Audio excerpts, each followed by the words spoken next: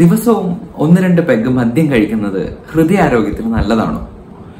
നിത്യേന മദ്യം കഴിക്കുന്നത് നിങ്ങളുടെ ലൈംഗിക പ്രശ്നങ്ങൾക്ക് കാരണമാകുമോ? തുടർന്ന് കാണുക.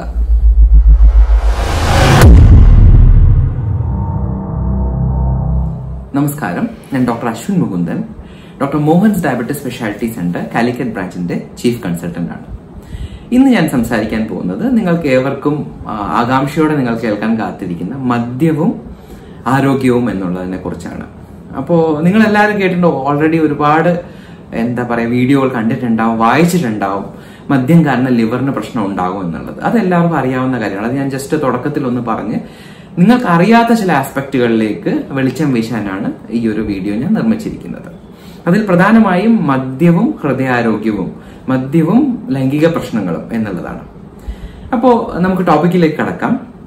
മദ്യം കഴിച്ചാൽ ലിവറിന് വരുന്ന അസുഖങ്ങൾ എന്തൊക്കെയാണെന്ന് നമ്മൾ അറിയണം. പ്രധാനമായിട്ടും തുടക്കത്തിൽ ലിവറിലെ കോശങ്ങളിൽ കൊഴുപ്പടിഞ്ഞു കൂടുന്നതും പിന്നീട് അത് ഹെപ്പറ്റൈറ്റിസ് ആയി മാറുകയും അവസാന സ്റ്റേജിൽ അത് സിറോസിസ് ആയി മാറാനും സാധ്യതയുണ്ട്. ഇതൊരു തുടർ പ്രക്രിയ ആകണമെന്നുമില്ല. ഡയറക്ട്ലി ഇതൊന്നും ഇല്ലാതെ ഒരാൾക്ക് പെട്ടെന്നൊരു ദിവസം സിറോസിസിന്റെ ലക്ഷണങ്ങൾ വരാം.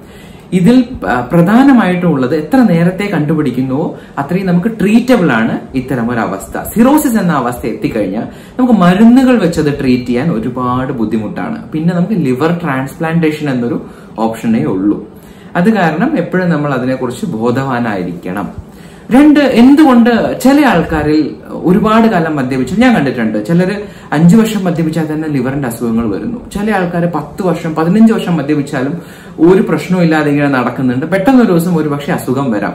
എന്തുകൊണ്ടാണ് ഇത്തരം മാറ്റങ്ങൾ ഉണ്ടാവുന്നത്? അത് കഴിക്കുന്ന മദ്യത്തിന്റെ അളവിനെയോ അല്ലെങ്കിൽ അതിന്റെ ക്വാളിറ്റിയോ ഡിപ്പെൻഡ് ചെയ്തിരിക്കുന്നോ എന്നുള്ളതാണ് എല്ലാവരുടെയും സംശയം. ഒന്ന് അളവിനെ ഡിപ്പെൻഡ് ചെയ്തിരിക്കുന്നുണ്ട്. ക്വാളിറ്റി എന്ന് പറഞ്ഞാൽ ചില മദ്യങ്ങളിൽ നമുക്ക് ഉദാഹരണത്തിന് പറഞ്ഞാൽ നാട്ടിൽ കിട്ടുന്ന അല്ലെങ്കിൽ ഒരുപാട് നാടൻ സാധനം എന്ന് വെച്ചാൽ വാറ്റ് ചാരായം എന്നൊക്കെ നമ്മൾ പറയുന്ന സാധനം ചിലപ്പോൾ ഒരുപാട് കാലം കഴിച്ചു കഴിഞ്ഞാൽ പെട്ടെന്ന് തന്നെ കോംപ്ലിക്കേഷനുകൾ വരാം. അതിൽ സ്റ്റാൻഡേർഡൈസ്ഡ് ആയിട്ടുള്ള പ്രൊസീജിയേഴ്സ് അല്ല. രണ്ട് എന്തുകൊണ്ടാണ് ഇങ്ങനെയുള്ള വേരിയേഷൻസ് അതായത് ഒരുപാട് കാലം കഴിഞ്ഞിട്ടാണ് ചിലർക്ക് കോംപ്ലിക്കേഷൻ വരുന്നത് ചിലർക്ക് നേരത്തെ വരുന്നു. എന്തുകൊണ്ടാണ് ഇങ്ങനെ സംഭവിക്കുന്നത്? അതിൽ ഒന്ന് നിങ്ങളുടെ ശരീരഘടന ജനിതക ഘടനയെ ഡിപ്പെൻഡ് ചെയ്തിരിക്കും. നിങ്ങളുടെ ശരീരത്തിലെ കോശങ്ങൾ മദ്യത്തെ എങ്ങനെ ആകിരണം ചെയ്യുന്നു ഏത് രീതിയിൽ പ്രോസസ്സ് ചെയ്യുന്നു. അതുകൊണ്ടാണ് ഒരേ അളവിൽ മദ്യം ഇത്ര കാലം കഴിച്ചാൽ ചില ആൾക്കാർക്ക് അഞ്ചു വർഷത്തിനുള്ളിൽ കോംപ്ലിക്കേഷൻ വരുന്നു. ചില ആൾക്കാർക്ക് ഇരുപത് വർഷം കഴിഞ്ഞാലും കോംപ്ലിക്കേഷൻ വരാതെ കൂസലില്ലാതെ ഇങ്ങനെ നടന്നു പോകുന്ന അവസ്ഥയാണ്. ഒരു കാര്യം പറയാനുള്ളത് സ്ത്രീകളിൽ പൊതുവെ കുറഞ്ഞ അളവിൽ മദ്യം കഴിച്ചാൽ തന്നെ പെട്ടെന്ന് തന്നെ ലിവറിനെ ബാധിക്കാറുണ്ട്. പുരുഷന്മാരെ അപേക്ഷിച്ച് നോക്കുമ്പോൾ. ബാക്കിയുള്ളതൊക്കെ ചില ഫാക്ടേഴ്സ് കൂടെയുള്ള എക്സ്ട്രാ ഫാക്ടേഴ്സിനെ ഡിപ്പെൻഡ് ചെയ്തിരിക്കും.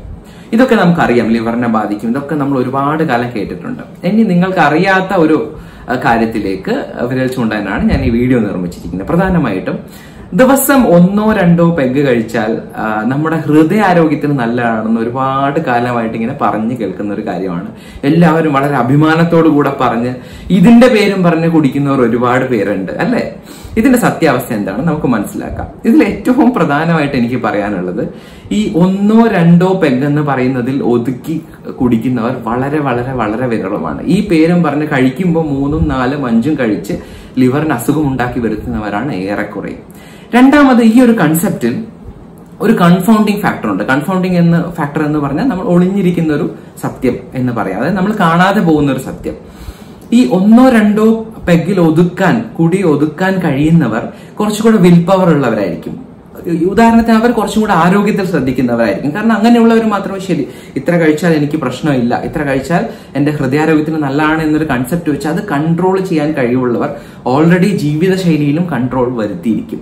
അപ്പൊ അതൊരു കൺഫൗണ്ടിങ് ഫാക്ടറാണ് അവരുടെ ആരോഗ്യം ഓൾറെഡി മെച്ചപ്പെട്ടിരിക്കും ബിക്കോസ് അവർ ബാക്കിയുള്ള കാര്യത്തിലും ഇതേ അച്ചടക്കം പാലിക്കാറുണ്ട്. ഇങ്ങനെ അച്ചടക്കം പാലിക്കാത്തവർക്ക് വേറെ പ്രശ്നങ്ങൾ ഉണ്ടാവുകയും ചെയ്യും. അപ്പൊ അതൊരു കൺഫൗണ്ടിങ് ഫാക്ടറാണ് ഒന്നോ രണ്ടോ കുടിക്കുന്നവർ മിക്കവാറും നല്ല രീതിയിൽ അച്ചടക്കം പുലർത്തുന്നവരായിരിക്കും. രണ്ടാമത്തെ കാര്യം ഈ അടുത്ത രണ്ടായിരത്തി പത്തൊമ്പതിൽ നടന്ന ഒരു പഠനം ഞാൻ വായിച്ചു.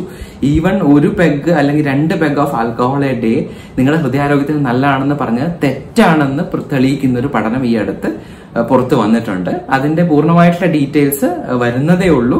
ബേസിക്കലി അതിൽ പറഞ്ഞിരിക്കുന്നത് ആൽക്കഹോൾ എത്ര എമൗണ്ടിൽ കഴിച്ചാലും ലോങ് ടേമിൽ ഒരുപാട് കാലം കഴിഞ്ഞാൽ വർഷങ്ങൾ കഴിഞ്ഞാൽ നിങ്ങൾക്കത് മോശമാണ് നിങ്ങളുടെ ശരീരത്തിന് മോശമാണ് എന്നുള്ളതാണ് അതിൽ പറഞ്ഞിരിക്കുന്നത്.